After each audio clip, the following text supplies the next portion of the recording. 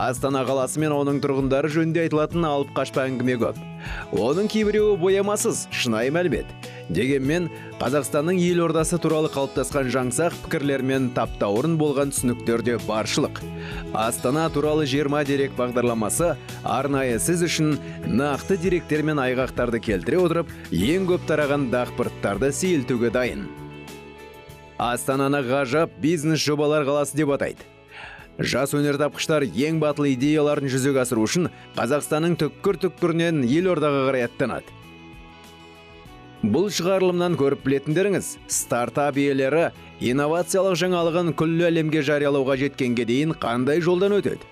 Қаражатты қалай табуға болады? Ең бастысы кімнен? Қалай сұрау керек? Назарбаев университеті инновациялық паркінің қандай мүмкіндіктері бар?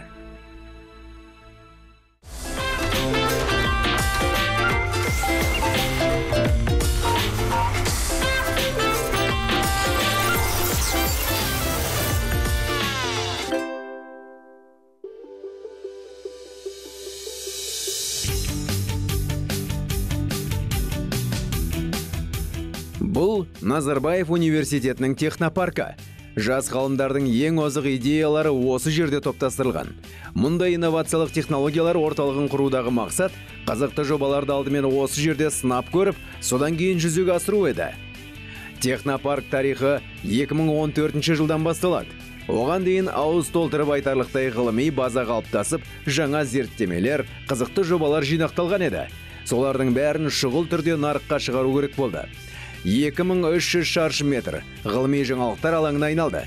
Ал бұрын бұл кәдімгі қазандық тұрған жер еді. Бүгінде технопарк аумағында 12 резидент өз жобасын іске асыруда. Бір айта кетерлігі технопарк қызметін студенттер мен қызметкерлер ғана емес мүдделі компаниялар да пайдалана алады.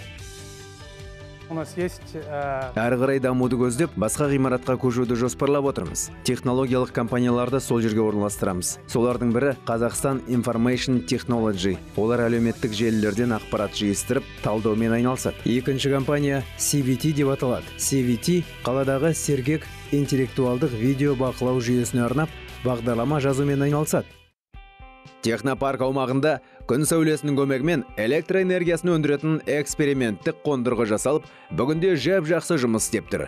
Sun Power Oasis C7 деп аталатын осы жоба авторларының айтуынша 25 киловаттқа дейін электр қуатын өндіре алады. Осылай жабдықталған шағын станциялар әлемнің 11 елінде қолданылады. Жаңа эксперименттік қондырғы қуаты мол өзіндік құны арзан пайдалану мерзімі ұзаққа жететін дүние. Сондықтан электр қуатының бағасы киловатт сағатына небәрі 10 ақш центін құрайды. Бұл технология өндіріске енгізер алдындағы сынақтан өтіп жатыр. Ал кейін оны коммерциялық нарыққа шығармақшы. Жаңа жоба шалғайдағы елді мекендерді электр қуатымен қамтамасыз ету мәселесін бір жола шешуі мүмкін. Она состоит э, из параболических зеркал. ол күннің қуатын жинақтап өзінің сырт жағында орналасқан күн панельдеріне бағыттайтын параболалық айналардан тұрады соның арқасында күн құрылғысының пайдалы әрекет коэффициенті 45 пайызға дейін артады 45%. Ал мынау болашақтың инновациялық ғимараты. Толықтай өзін өзі қамтамасыз ететін үй электр қуатын аз пайдаланады. Бірақ үнемі жарығы да жылуы да бар. Киіз үй пішінімен салынған ғимарат жұп жұмыр төбесіне қар тұрмайды деуге болады. Жылу гелиоколлектордың көмегімен алынады. Бұл жерде құрама жүйе орнатылған. Оған қоса жылу сорғылары сондай ақ жылуды рекуперация жасайтын ағынды сорғылы құрылғысы бар. Яғни күннің жылуы гелиоколлектордың көмегімен сіңіріліп жылу сорғыларымен қыздырылады. Және ағынды сорғылы құрылғылардың көмегімен ғимараттың ішіне жіберіліп ауаны жылытады.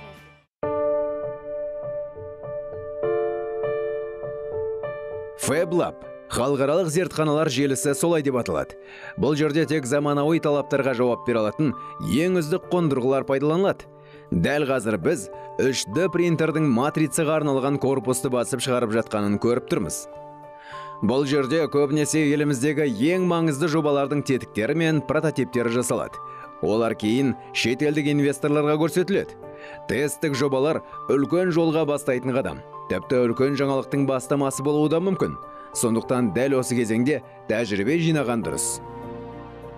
Ал мынау зертхананың екінші аймағы. Бұл жерде тапсырыс берушілерге арнап прототип жасайтын үлкен фрезер білдегі орнатылыпты.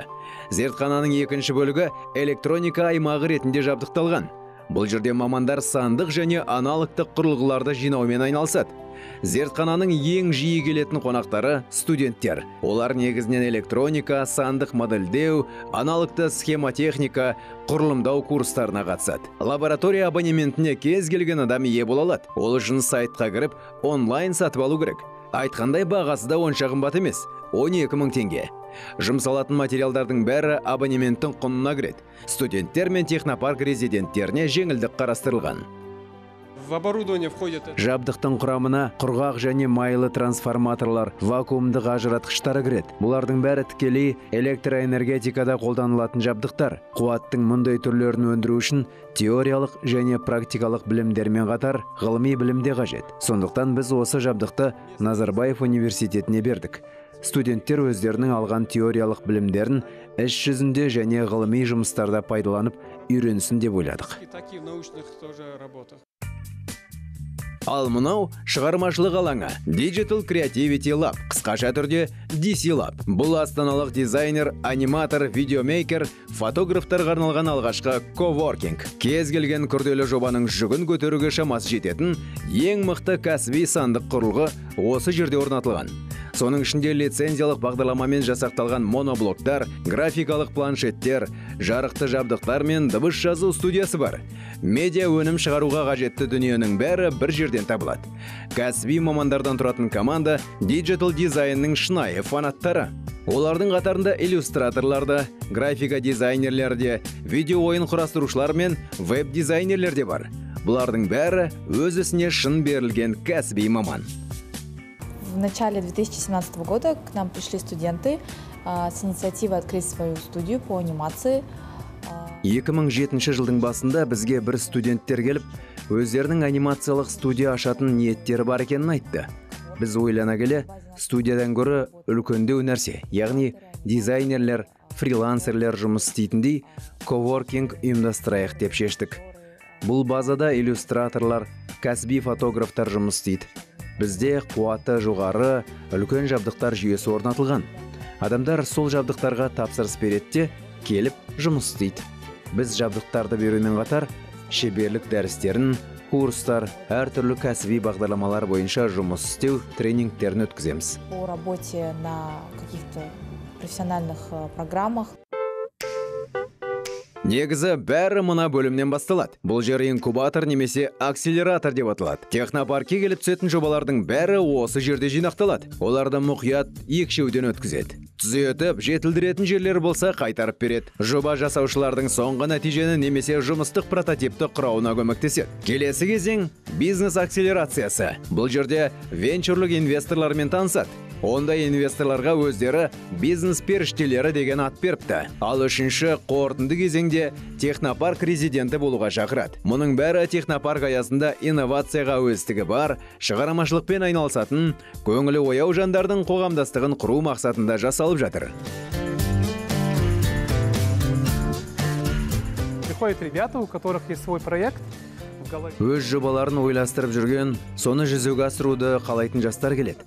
Акселерациялық бағдарлама соларды өз жобасының прототипін бизнес жоспарын жалпы моделін құрастыруға дейін жеткізеді. Келесі кезең бизнесті инкубациялау кезеңі.